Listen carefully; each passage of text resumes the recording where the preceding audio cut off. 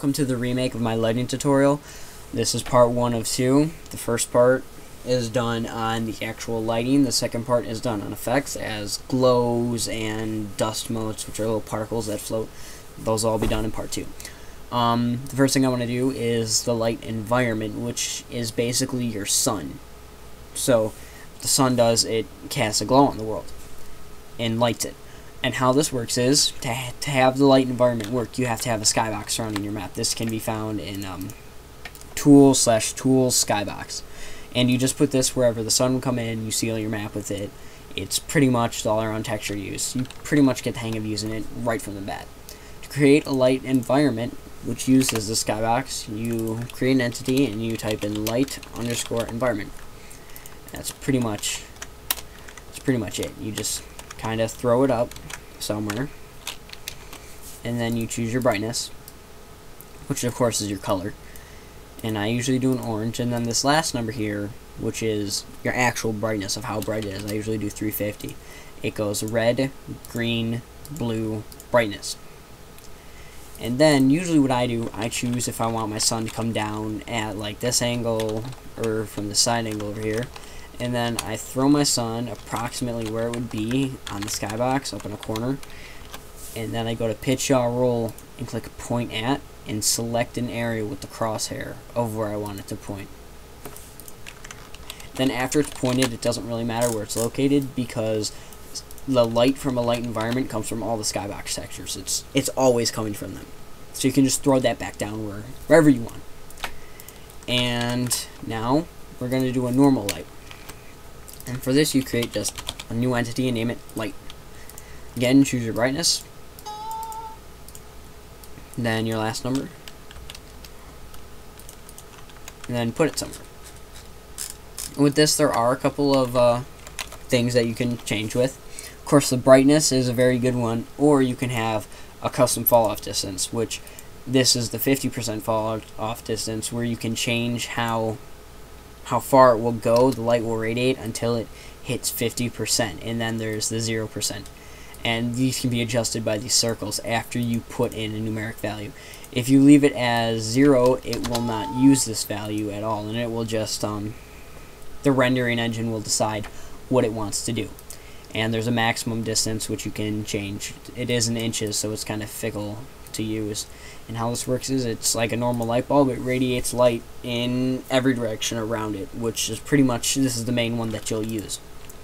And the last one here is going to be a light under, underscore spot. And light underscore spot, the one thing we notice with this right away is that it has glows coming from it and these glows are where the light actually goes. It's pretty simple to figure out. Um, that's pretty much how that one works. It just, it only points at to where it is. So after you choose your brightness, which I'm going to make mine red, and then usually since you only use this as a spotlight, you kind of want it bright, unless you want it like a dim, maybe street corner light. Then choose where you want to point it at. After you get that done, then you can choose the fall off distance again, and you'll see inner fading angle I mean inner bright angle and outer fading angle. These decide what these what the the glows like where the light actually goes. The smaller the number on the outer the tighter the spotlight gets. Like that's more focused spotlight. And the inner bright if you make this smaller too it becomes a more focused spotlight. And you can kind of see on the inside of what it's doing like that one will be very very concentrated but I'm going to leave mine as kind of like good old spotlight, just normal spotlight. That's pretty much it for this, for the actual creating the entities. But there is one more thing that needs to be done. When you go to compile your map, after you save it, you're presented with this menu as normal and you have the options. Most people just click that and then they just compile with BSP because it compiles super fast. But now you have lighting in, which it needs more to compile with. So usually you want VVIS on, because that helps. It's the rendering engine. It's good to have on. It'll take longer to compile with it, but just leave it on. And you want run rad. What rad does is, this is what, like, it renders the lighting, pre-renders it. So you want this left on normal. If you're going to test a map, it's fine to do it on fast for both of these. But if for a final compile before you release, always do it on normal. And I'm going to compile this, and then I'll see you in Counter-Strike.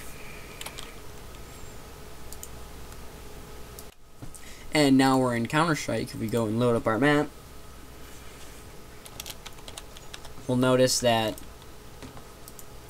we have our blue light that radiates in every direction around where it was, and then the red spotlight that is only coming from the area that it was given onto the specified material.